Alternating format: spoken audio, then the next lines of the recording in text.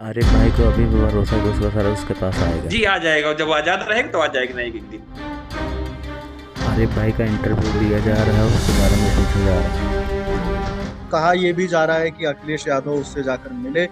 इस वजह से ये सारी चीज़ें हुई। सारस मिला कैसे?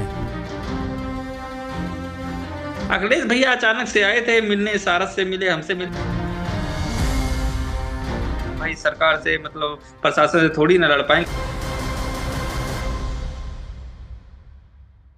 आरिफ जी सबसे पहले सवाल तो मेरा ये है आपसे। आप मूल रूप से कहाँ के रहने वाले हैं? और ये पूरी घटना सारस वाली है क्या?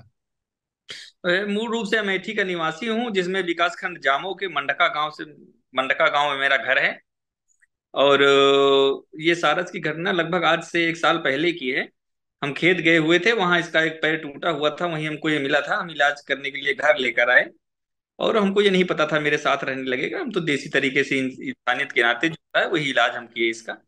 और उसके बाद ये मेरे साथ रहने लगा, और इतना साथ रहने लगा कि मैं बाज़ार जाता था, बाज़ार जाता है तो साथ मेरे उड़ के जब वापस आता वापस आता है जब दिन में हम चुपके से कहीं निकल जाते हैं दूर जाना होता है ये जो है ये भी अपने परिवार के साथ चला जाता था परिवार के साथ पर शाम को मेरे पास वापस आ जाता था और आज तक हमने इस, इसे कभी बाँध के नहीं रखा था ना कहीं कैद करके रखा था ये बिल्कुल एकदम आज़ाद था जब दिल करता था इसका आता था जब दिल करता था जंगल चला जाता था। आपने देखा होगा कि वन विभाग की टीम जब उसे ले गई है ना उसके बाद समाजवादी पार्टी की ओर से इसे ट्वीट किया गया।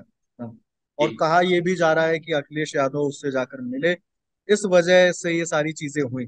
आपको क्या लगता है पूरे मामले को लेकर?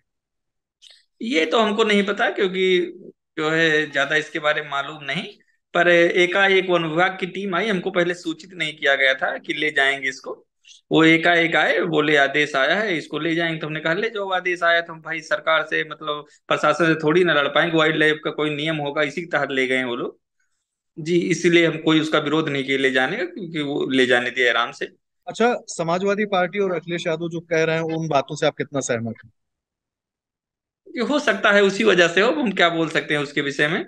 तीसरी चीज़ ये कि अ, कब लेने आए क्या क्या हुआ किस तरह से आपको सूचना दी गई मतलब ये पूरा प्रकरण क्या है? वो कल लगभग बारह बजे के करीब आए थे फ़ोन आया हमारे पास कि भी आ रहे मिलने आपसे तो हमके जैसे ढेर सारे अधिकारी और आए दिन भर में बहुत लोग आते थे मिलने हमका वैसे कोई मिलने आ रहा होगा। पर वहाँ आए तो बोले ले जाएँगे। आदेश आ गया है। तो फिर उससे क्या कर सकते हैं? हम कुछ नहीं बोले फिर क्या करें? अच्छा अब जब वो वीडियो वायरल हो रहा है कि उसे ले गए हैं अखिलेश यादव ने भी इस पर अपना बयान दिया है। तीसरी चीज़ ये है कि समाजवादी पार्टी मीडिया सेल की ओर से भी उसे ट्वीट किया गया है। ठीक है? जी। उसके बाद कैसी चीज़ें हैं? क्या क्या चीज़ें आपके सामने आ रही हैं?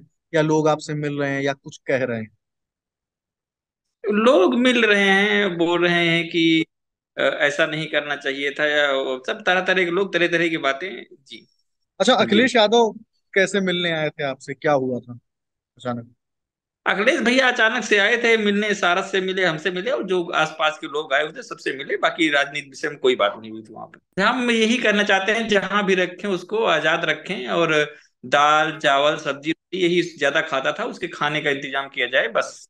कहीं ना कहीं ये नहीं है कि आपको फिर से वो वापस मिल जाए। नहीं नहीं, वो आज़ाद है, बिल्कुल जैसे मेरे यहाँ रहता है तो वो वहाँ आज़ाद छोड़ दिया जाए, उसका दिल करेगा तो खुद ही मेरे पास वापस